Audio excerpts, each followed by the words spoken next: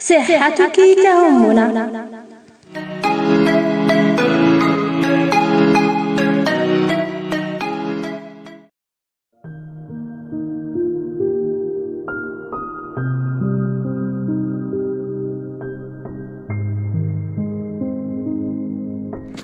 السلام عليكم ورحمة الله تعالى وبركاته. أهلا وسهلا بكم مستمعينا ومستمعاتنا عبر أثير إذاعة النور في برنامجكم النصف شهري برنامج مملكة حواء في فقرة صحتك تهمنا مع أختكم زهرة.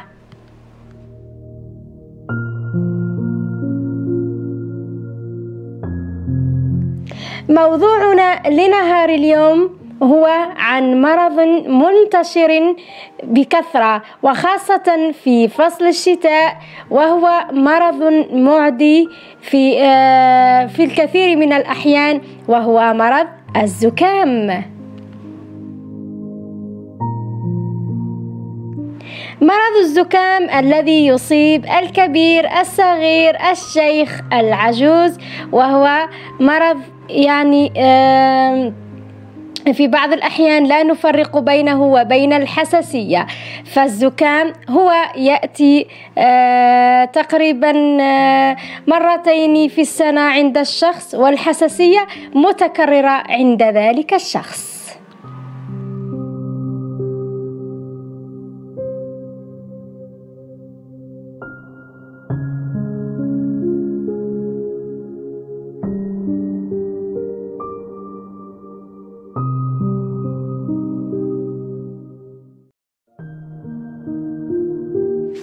مرض الزكام أكثر انتشارا عند الأشخاص وخاصة في فصل الشتاء ويقوم العديد من الأشخاص باتخاذ إجراءات وقائية لحماية نفسه ولكن غالبا ما تفشل هذه المحاولات وتكون الإصابة حتمية ولا يمكن منعها.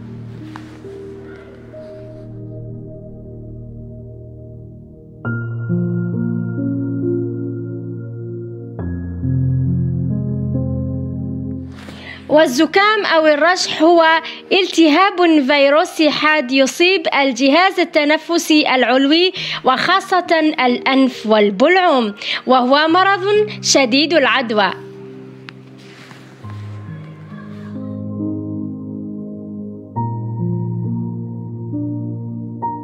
ومن بين أسباب الزكام هي عدم ارتداء الملابس جيدا وأيضا الخروج عندما تكمل من الاستحمام إلى الخارج فهذا أمر خطير جدا يصيبك حتما الزكام ويلجئك إلى الفراش.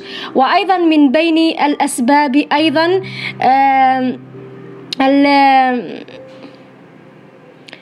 ومن بين أيضا أسباب الزكام التصافح مع ذلك المريض بالزكام فهذا أيضا أمر خطير وأمر معدي. وأيضا عدم غسل اليدين عند انتهاء أي عمل كنت تقوم به.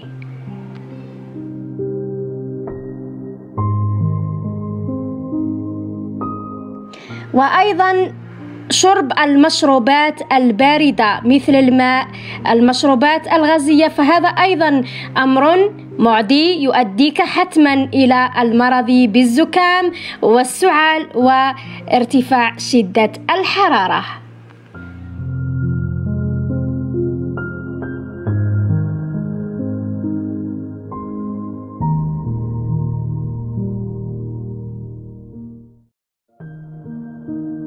هذه هي بعض أسباب الزكام بالأكثرية يعني التي يصاب بها المريض.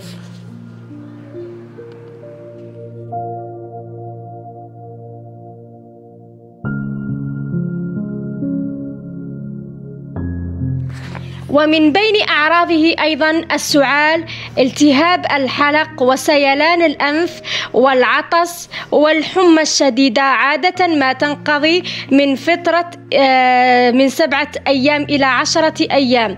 ولكن بعض الأعراض تستمر لمدة ثلاثة أسابيع.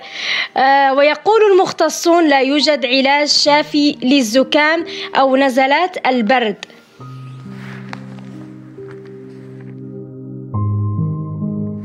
فالمضادات الحيوية ليس لها دور كافي آه، ليشفى ذلك المريض من الزكام.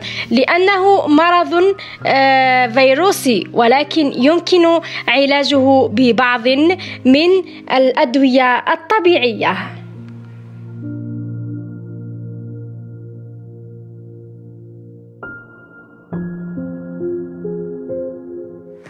مثل العسل الحر الليمون آه، وأيضا آه، التيزانة والزنجبيل إلى غير ذلك من الأدوية الطبيعية.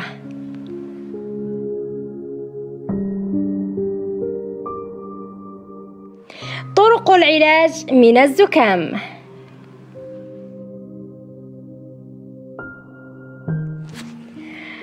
الراحة في البيت وخاصة عند ارتفاع درجة الحرارة عند المريض. أيضا غسل اليدين جيدا وخاصة عند المصافحة. أيضا النوم الكافي للمريض لمدة آه، كافية.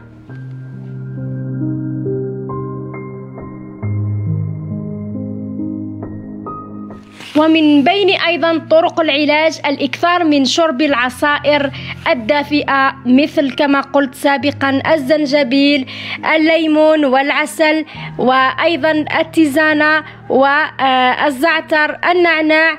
هذا كله يشفي من الزكام. وأيضا الإكثار من تناول الفواكه خاصة في فصل الشتاء فاكهة البرتقال. فاكهة البرتقال فيها الفيتامين سي وهي مفيدة جدا للمريض.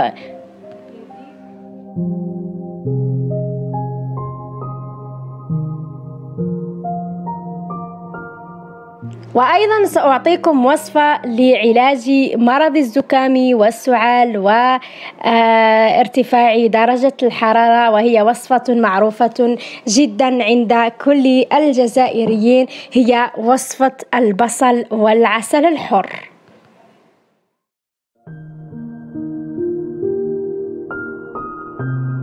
إن لم يكن لديك عسل حر فيوجد عسل الشفاء. هكذا يسمى عسل الشفاء. فنأخذ بصلة واحدة آه، نقشرها وبعدها نفرمها ونضعها في الماء تغلي لمدة معينة وبعدها نصفيها في إناء خاص. ونضع ملعقة أو ملعقتين كبيرتين من العسل الحر وملعقة من زيت الزيتون. ثم نخلطهما جيدا ونعطيهم لذلك المريض كل ليلة وكل صباح قبل تناول فطا قبل تناول عفوا وجبة فطور الصباح. فهذا الدواء مفيد جدا للمريض وخاصة مريض الزكام.